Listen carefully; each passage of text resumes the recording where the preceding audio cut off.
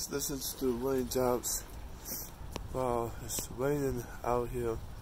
Good morning, everybody. Today is Friday, December 16, 2022, and I am proud to tell you that I'm alive and healthy, and God is making a way out of no way.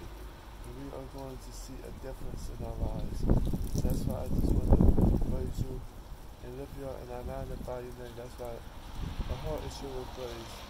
That's why I just want to keep you close to my heart. That's why I just want to keep you close to my spirit. That's why I want to keep you close to my soul. I don't want anything to become forgotten. We do all things because He strengthens me. Right?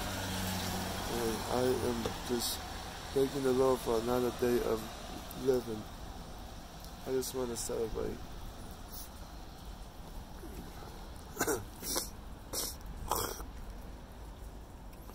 I just know that it's hard to say goodbye to yesterday, but we have to move on. We have to do things differently.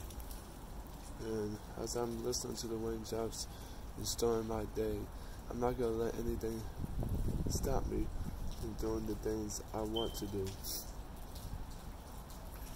I just need you, Lord. I just want you to be there for me and my family. I'm bundled up. I got all my protective gear on. I got my hat, my scarf, my trench coat. Um, it's really um, somewhat cold, but I wanted to become prepared. I wanted to stay well and healthy and make sure that everything is working out for my good. I know at times people say, oh, you're blessed and highly favored. You heal. You're blessed in the city. You're blessed in the field. You're blessed when we come and go. And we must cast down every stronghold, poverty, and sickness must cease. For the devil is defeated. We are blessed. Late in the midnight hour, God's going to turn around. It's going to work in your favor.